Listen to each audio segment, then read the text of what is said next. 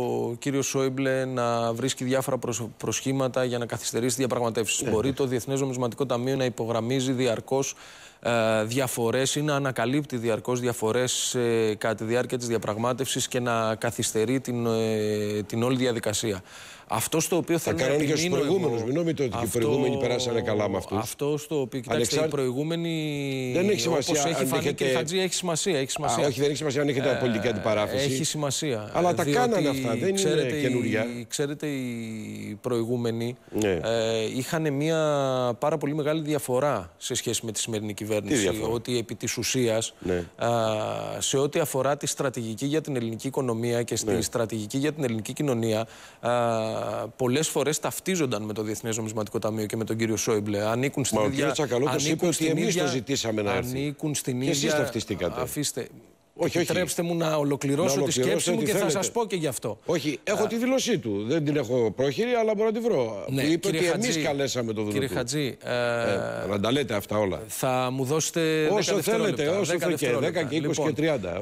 Ε, ήταν λοιπόν ε, πολλές φορές ταυτιζόμενοι με τη στρατηγική του, Διεθνές, του Διεθνούς Νομισματικού Ταμείου και της ε, Γερμανίας και του Γερμανικού Υπουργείου Οικονομικών, αν θέλετε, για το τι πρέπει να κάνει η ελληνική οικονομία. Αυτό το οποίο λέγανε είναι ότι το βασικό πρόβλημα της ελληνικής οικονομίας είναι πρόβλημα ανταγωνιστικότητας ε, και επομένως δεν έχει καμία σημασία η ρύθμιση του χρέους. Αυτό το οποίο πρέπει να κάνουμε είναι ε, σαρωτικές μεταρρυθμίσεις στην αγορά εργασίας και στο κοινωνικό κράτος για να μπορέσουμε να αποκαταστήσουμε την ανταγωνιστικότητά μας. Αυτό το αφήγημα, αυτή εδώ η κυβέρνηση δεν το έχει αποδεχθεί. Δεν είναι αυτός ο στρατηγικός στόχος. Ένα αυτό. Το δεύτερο που θέλω να σας πω είναι το εξής. Γνωρίζετε πάρα πολύ καλά ότι η Γερμανία και η Ολλανδία έχουν βάλει ως ε, προαπαιτούμενο για την ύπαρξη πολιτικής, ε, για την ύπαρξη του ελληνικού προγράμματος τη συμμετοχή του Διεθνούς Νομισματικού Ταμείου. Και λένε στην ελληνική κυβέρνηση ή θα αποδεχθείτε το Διεθνές Νομισματικό Ταμείο ως κομμάτι του προγράμματος ή δεν υπάρχει πρόγραμμα. Επομένως, ε, το γεγονός της τυπικής πρόσκλησης του Διεθνούς Νομισματικού Ταμείου με μια υπογραφή από τον κύριο Τσακαλώτο ε. δεν σημαίνει ότι Το, η ελληνική κυβέρνηση ε, καλεί το Διεθνές Νομισματικό Ταμείο πώς με ανοιχτές αυτό, τότε; Μα σας ξαναλέω, όταν ο κύριος Σόιμπλε λέει ναι. δεν υπάρχει ελληνικό πρόγραμμα χωρίς το Διεθνές Νομισματικό Ταμείο Μάλιστα. και επομένως υπάρχει ένας, ε, μια σαφής, ένα σαφές προαπαιτούμενο από τη δική του για, να, αυτοί, για ναι. να έρθει το Διεθνές Νομισματικό Ταμείο εδώ. το πρόβλημα το δικό σας ε, ή, ή, το πολιτικό συμπέρασμα το οποίο βγάζετε είναι ότι η ελληνική κυβέρνηση καλεί το Διεθνές Νομισματικό Ταμείο; Αν αυτό βγάζετε ως πολιτικό εσείς, συμπέρασμα... ποιο συμπέρασμα βγάζετε; Εγώ, εγώ, ότι κάνω εγώ απλώς αφηγήθηκα τα γεγονότα. Από εκεί πέρα ο καθένας μπορεί να βγάλει τα συμπέρασματα. Μπορούσατε όμως με βάση το, την πολιτική σας ε, ατζέντα την οποία είχατε αλλά και το ιδεολογικό σας πλαίσιο στο οποίο μας λέτε ότι κινείστε και είναι η αριστερά, ένα, είστε ένα αριστερό κόμμα, ε, θα έπρεπε να το έχετε καταγγείλει και να μην τους καλέσετε. Ε, με και με βάση αυτά τα οποία έχετε, γιατί ξέρετε η κριτική συζήτηση... συνήθως σε εσάς γίνεται με άξονα αυτά τα οποία κατά καιρούς έχετε βάλει ως προϋπόθεση για να προχωρήσετε στην έξοδο της χώρας από το. Χαίρομαι Έτσι. που επαναφέρετε τη συζήτηση στο όχι, καλοκαίρι του 2015. Δεν Θα την επαναφέρω λοιπόν εκεί. Κάνετε λάθος. Την, επαναφέρω στο, την επαναφέρω στο 2014. Στο Γιατί... 2015 δεν επαναφέρω τίποτα ναι, εγώ. Ναι, στο 2014 λοιπόν. Ε, λοιπόν όταν εγώ... Και στο 2015 κύριε Αφήστε Χατζή, το 2015. Όχι δεν το αφήνω διότι δεν το 2015 είναι η συνέχεια του 2014 και των πολιτικών, ε, και των πολιτικών τις οποίες θέλαμε να ασκήσουμε. Ναι, φτάσαμε λοιπόν, φτάσαμε λοιπόν στα, στα όρια μια διαπραγματευτική τακτική. Ε, προσπαθήσαμε να δημιουργήσουμε συνθήκες ε, πολιτικών συμμαχιών στην Ευρώπη και πιστέψτε με, αν δεν είχε μεσολαβήσει η διαπραγμάτευση του 2015 και είχαμε σήμερα στόχους πρωτογενών πλεονασμάτων 4,5%, ε, πολλά θα ήταν διαφορετικά και η πίεση την οποία, η οποία θα ασκούνταν στους Έλληνες πολίτες θα ήταν πολύ μεγαλύτερη.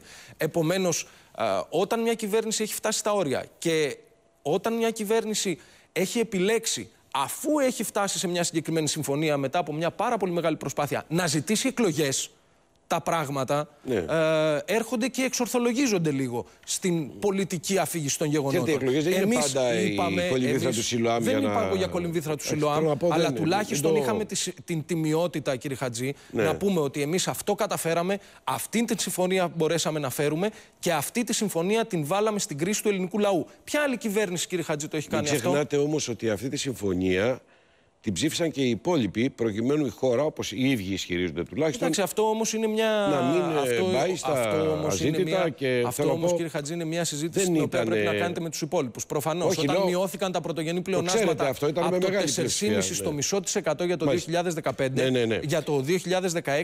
Εντάξει, το ε... καταλαβαίνω. Ε, Α μείνουμε σε αυτό γιατί το επόμενο ερώτημα, αμέσως μετά τις διαφημίσεις, είναι ένα και μοναδικό.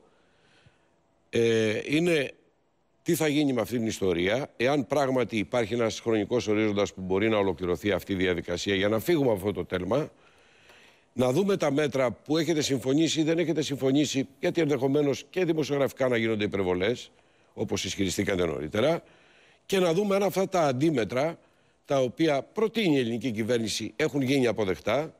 Αυτό είναι που θέλω να κουβεντιάσουμε. Και αν αυτά τα αντίμετρα, κύριε Υπουργέ, είναι ικανά να βγάλουν την οικονομία από αυτό το τέλμα. Και είναι αναπτυξιακά. Αυτό είναι το. Σας βάζω ήδη και σας προετοιμάζω για το επόμενο κομμάτι της εκπομπής μας, για να πάμε στη συνέχεια και στα εσωκομματικά σας, αφού ολοκληρώσουμε αυτόν τον κύκλο, στα εσωκομματικά σας, τι γίνεται, ακούμε διάφορα. Μιλάμε κι εμείς με διάφορες πηγές. Δεν είναι πολύ ευχαριστημένοι. Υπάρχουν οι αντιπαραθέσεις. Έχετε πολλές φορές πει ότι δεν υπάρχει πρόβλημα τσακαλό του Τσίπρα. Έτσι, νομίζω και προχτές πάλι το επαναλάβατε. Ε, Σας βλέπω ανέκφραστο να λέω τσακαλό του Τσίπρα. Δεν κάνετε, κα... δεν, δεν κάνετε καμία έκφραση γιατί δεν θέλετε να σας χρεώσουμε τίποτα. Εντάξει, σωστό είναι αυτό. Λοιπόν, πάμε τώρα σε διαφημιστικά μηνύματα για να έρθουμε να μπούμε στην ουσία των μέτρων, των αντιμέτρων τα οποία προτείνετε και ποιος είναι ο χρονικός ορίζοντας και πού πάμε, κύριε Υπουργέ. Αυτό θέλει να μάθει ο κόσμος από εσάς σήμερα.